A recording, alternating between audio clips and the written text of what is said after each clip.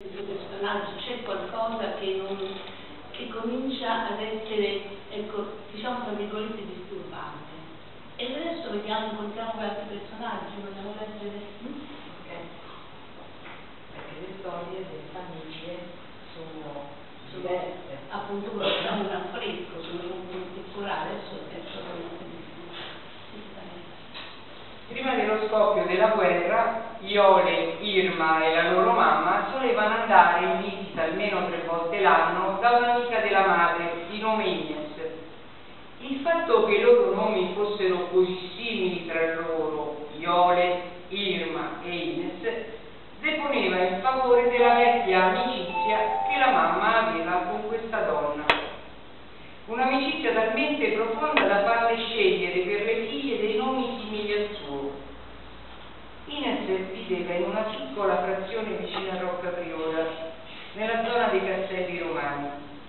Quando partivano da Roma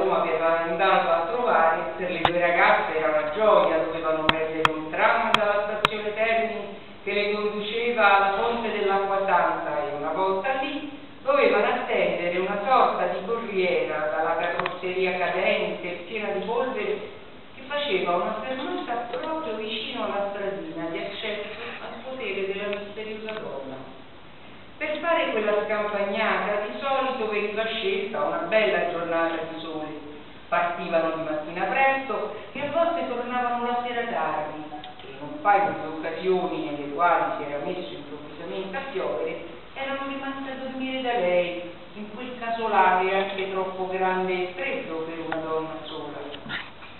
In quel modo sembrava di essere fuori dal mondo e il panorama che si godeva da lì era impareggiabile. Se fermava sull'aia si poteva vedere la vallata di campi arati e boschi verdi, battuta da un gentile vento profumato di terra e di fiori, che scendeva verso Roma, lontanissima, una macchia boschiva si estendeva proprio dietro la casa di Ines e in una delle loro prime passeggiate io e Irma furono sorprese,